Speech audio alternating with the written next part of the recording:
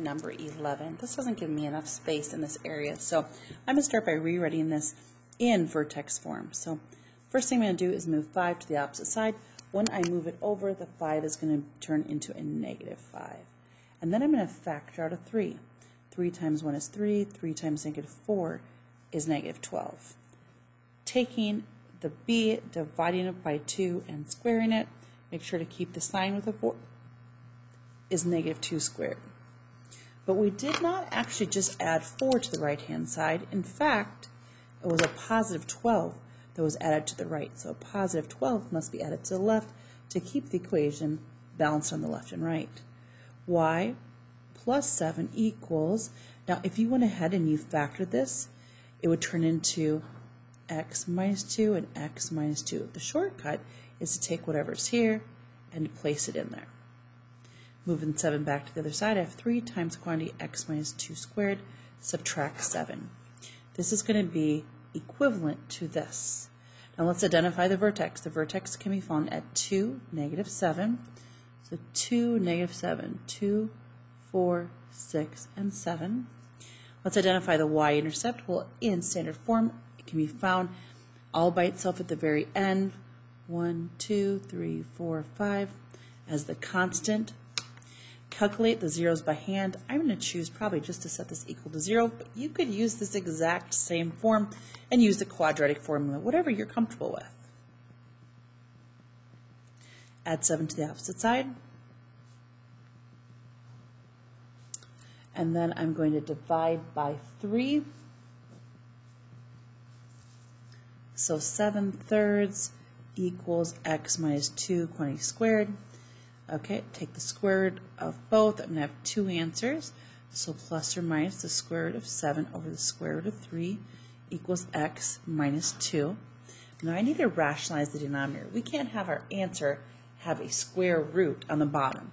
So I take whatever this value is and take it times the top and times the bottom. So plus or minus the square root of 21 over the square root of 9 equals x minus 2. And I know the square root of 21 sorry, I know the square root of 9 is 3.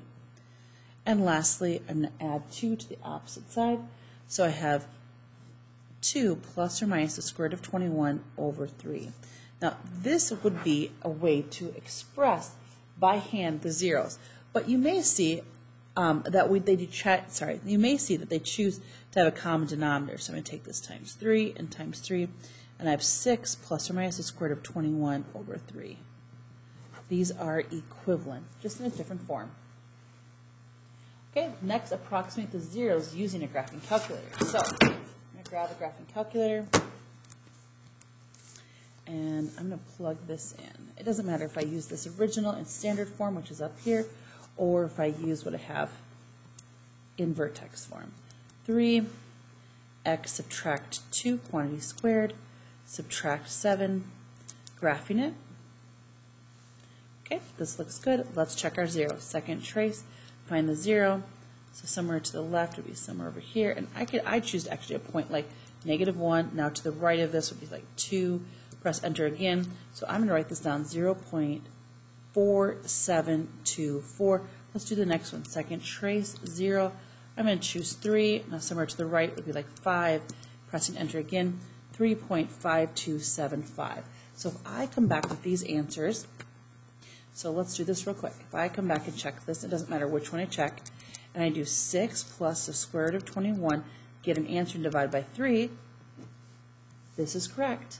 And now I'm going to do 6 minus the square root of 21 divided by 3, and this one is also correct.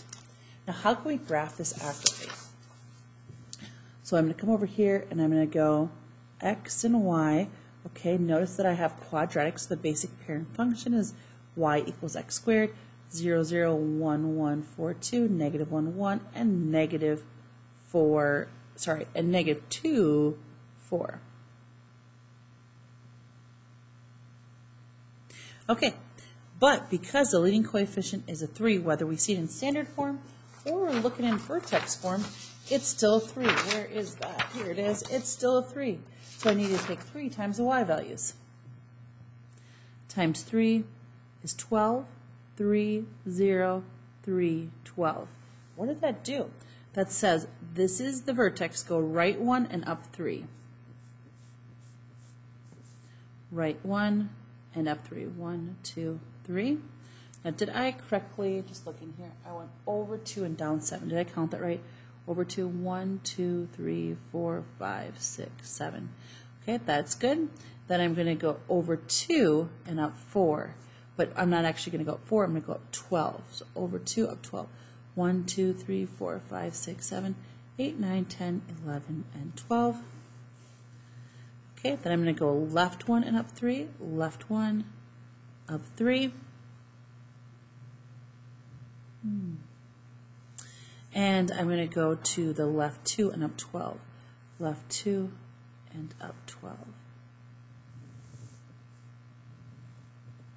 Hmm.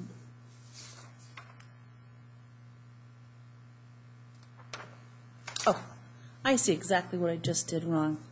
Um, this point right here, when I graphed the y-intercept, it was a positive 5, not a negative 5. It was a positive 5. So 1, 2, 3, 4, 5 is exactly where it should be. So here is my sketch of this function. Again, whether it is in standard form or rewritten in vertex form, it produces the same shape.